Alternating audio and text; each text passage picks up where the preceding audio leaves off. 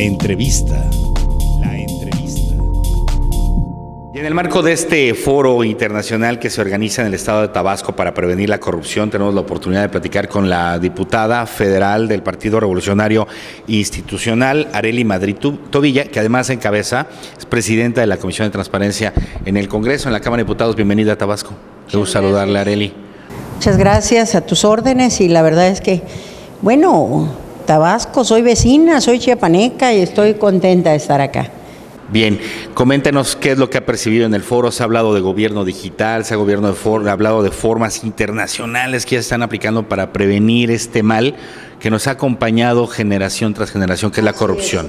Eh, fíjate que yo quiero iniciar reconociendo y felicitando tanto la voluntad política de un gobierno para este, hablar del tema, como la ONU, la intervención de la ONU en este, en este foro, y del INAF. Son importantes, importantes esas voluntades, porque uno de los grandes problemas que tiene el tema eh, de anticorrupción y el tema de transparencia es la falta de cultura de transparencia. No hay cultura en el tema. Aquí acertadamente lo decían los espléndidos panelistas de nivel internacional que estuvieron, me encantó. Me encantó porque hablaron, insistieron sobre el servicio público, sobre los servidores públicos, insistieron sobre la gobernanza, insistieron sobre un tema que va a ser fundamental para poder avanzar en esto, la ética, el código de ética es muy importante. Y es importantísimo también ya todo lo que pasa en el mundo, que es un tema del mundo, no es un tema solamente de México, es un tema que en todo el mundo las sociedades están ya presionando para lograr una mayor transparencia. A mí como presidenta de la Comisión de Transparencia me encanta, me encanta todo este tipo de foros, me satisface y profesionalmente yo creo que eso deberían de hacer la mayoría de los que tienen este, este compromiso. Es un compromiso no solamente de un grupo, es un compromiso de todos, de todos. Y, y es muy bueno. El tema en el plan legislativo ha tenido pocos avances, se va a concretizar, hubo la voluntad política de un presidente, presidente de la República, Peña Nieto, la primera iniciativa que presenta en el Senado de la República es sobre transparencia y anticorrupción. Esa está todavía en el Senado, la tiene el Senado en la Comisión de Gobernación. Posteriormente el Senado ya tenía una, este, iniciativa sobre 11 reformas constitucionales, dentro de las que nosotros le denominamos el IFAI, porque ahí va lo del nombramiento del IFAI, va todo.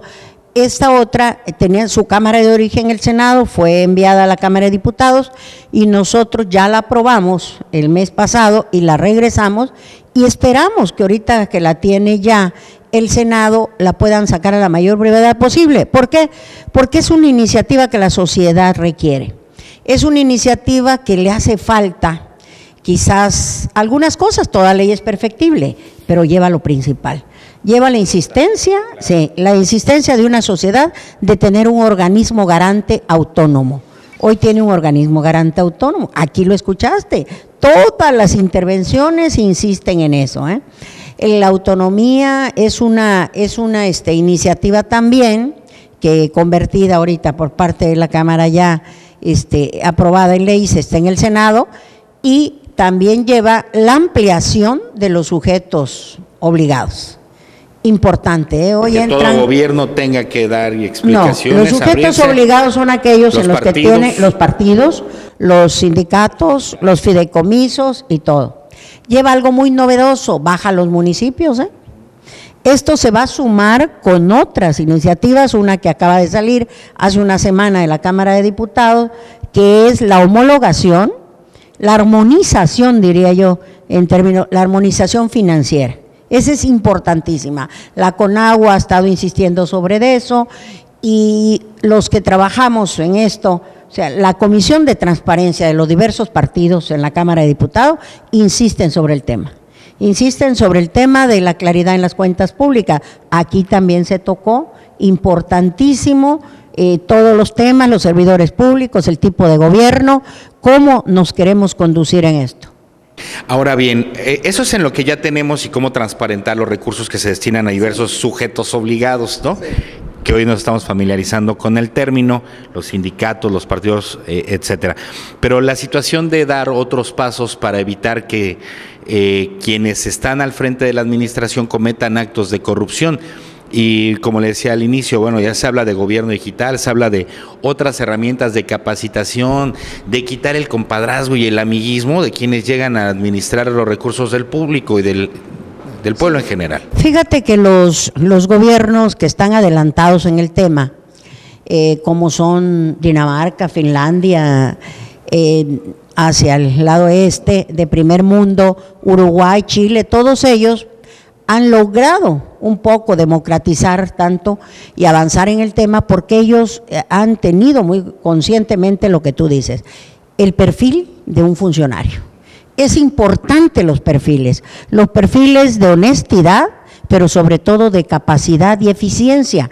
La corrupción no solamente es dinero, también es opacidad, también es dejar de hacer muchas cosas. Entonces, eh, a mí me pareció que de veras es de felicitar a este gobierno acá en, que esté en Tabasco, que estén preocupados por esto, que haya voluntad política por ello, de poderse sumar esa voluntad política que tiene el presidente, que fue su primera iniciativa que envió el presidente de la República, al deseo que tiene el INAP de estar trabajando sobre esto y a muchas organizaciones civiles también, ¿eh?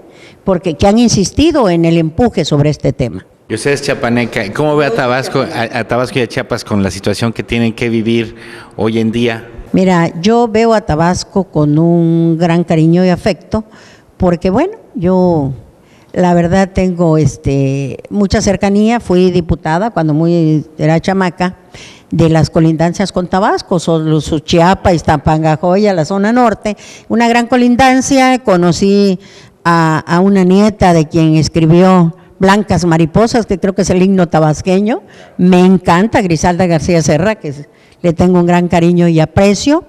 Al señor gobernador, que fue mi líder en el Congreso, mi compañero diputado y todo. Conozco a muchos priistas, que son mis amigos y todo, pero nuestras colindancias nos unen en todo. A veces algunos dicen, bueno, es que lo único que les damos de más, los chiapanecos les damos un poquito de agua. Bueno, pues ya buscaremos cómo ya de más. Pero eso también quiero decirte que uno de los temas también que se debe trabajar como tipo de gobierno es ver cómo se captan todo este tipo. claro, todos estos recursos que en otros lados no hay, que no se desperdicien, que se capten y se puedan utilizar en todo. Pero nos unen no solo nuestro tipo de tierra que tenemos que nadie nos puede competir, el sureste es lo más hermoso. Yo, claro, como político, yo quisiera que sí hubiera alguna conexión entre los, los lugares que estamos en el sur para hacer algún convenio del sur-sureste que nos permita que podamos captar todos nuestros recursos naturales en favor de toda esta zona. Para mí sería un sueño que alguna vez lo dijo un gran gobernante en Chiapas, que es Juan Sabines Gutiérrez, que él, él aspiraba y soñaba que algún día el sureste estuviera unido para lograr muchas cosas, ¿no? Y eso es muy importante. Y hay el buen Sabines, y aquí yo tengo muchos afectos y muchos cariños tabasqueños. Perfecto. Diputada, qué gusto poder platicar con usted y muchísimas gracias por regalarnos parte de su tiempo. No, muchas gracias a ti y a Radio Fórmula. Es la diputada Eli Madrito Villa, diputada federal del PRI, presidenta de la Comisión de Transparencia en la Cámara de Diputados. Continuamos.